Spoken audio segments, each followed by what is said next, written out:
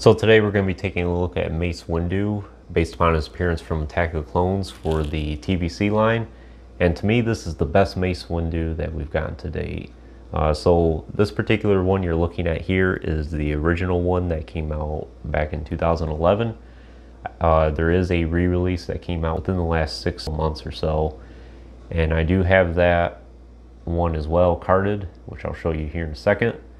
Uh, so what makes this action figure so great is it looks exactly like Sam Jackson in my opinion. Uh, you can't really get much closer than that. And it still holds up really good today after all these years. It's a 10 year old action figure, 11 year old action figure at this point. Uh, but anyways, we'll take a look at the package first. Like I said, this is the re-release with the face printing tech. Show you what two of them look like side by side. The action figure itself is the same exact thing, it's just the face printing is a little bit different. And personally to me, I actually prefer the original version over the re-release with the face printing. I'll talk more about that in, here in a minute though. Very nice image of Mace there from the Battle of Geonosis.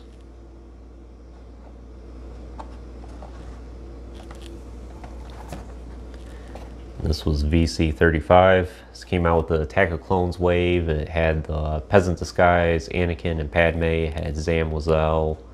Uh, it had the Senate Guard. had Kit Fisto. And then the Nikto Jedi as well. I do have Anakin and Ahsoka reviewed on the channel, and Fennec, the Mandalorian, and the clone as well. I'll get to Yoda and the Obi-Wan eventually as well.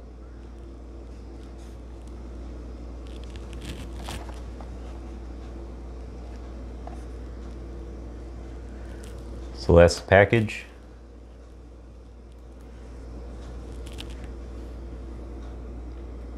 So like I said, this is the best looking Mace Windu we've gotten to date in the Hasbro line. To me, you can't get any closer than that really to looking to Sam Jackson. Hasbro did a really good job on this. Definitely one of the highlights of the TVC line.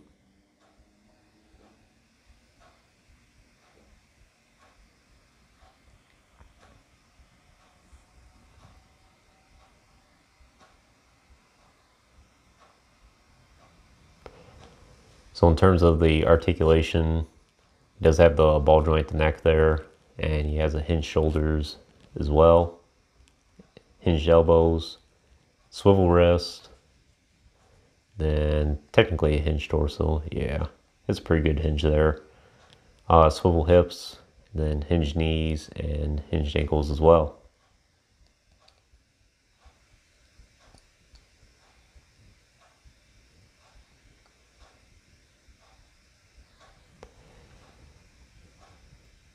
Terms of accessories, it comes with exactly what you would expect him to. It's purple lightsaber, and this is one of the best lightsabers I think we've gotten. Hasbro did a really good job with the detailing on his hilt there. Has very striking colors, and I really like how this purple is a very deep, or yeah, a deep purple.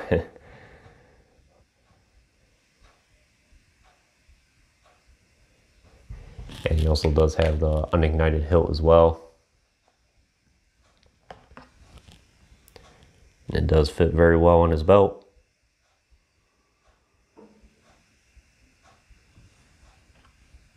Right there.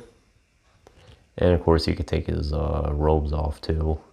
But I typically don't display Mace Windu without his robes.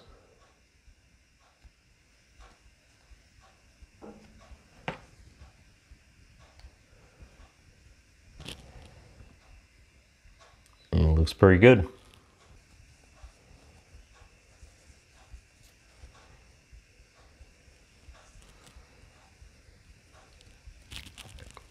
Hood fits all right over his head. I don't think it looks too awkward, but most of the time we don't really see Mace with his hood up anyway, except what, maybe in the Phantom Menace. So I just keep his hood down anyway. And he holds his lightsaber pretty well. Kind of hard to get him in a two grip position.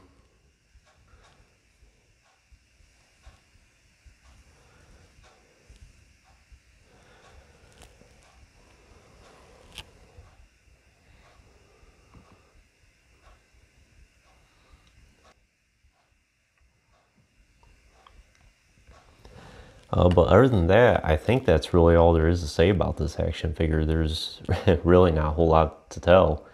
Uh, like I said, I do think this is the best Mace Windu that Hasbro has made to date. I would highly recommend it for your collection. Personally, to me, I think the original is a lot better. In fact, I'll show you again. But I just think the the face printing didn't really do enough justice for this action figure.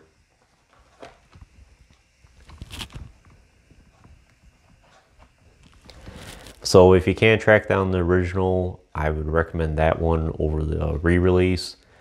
It is very expensive. Um, I think I got this one for like $30 about five, six years ago at this point.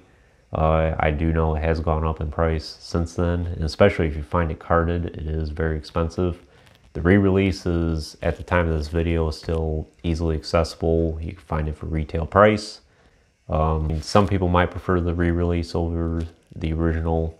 It's just personal preference. Uh, but anyways, that concludes this review. I hope you enjoyed it and found it informative. Uh, if you haven't already, please like the video and subscribe to the channel. Greatly appreciate it. And stay tuned for more reviews in the future. There's going to be plenty more to come. And thanks for watching.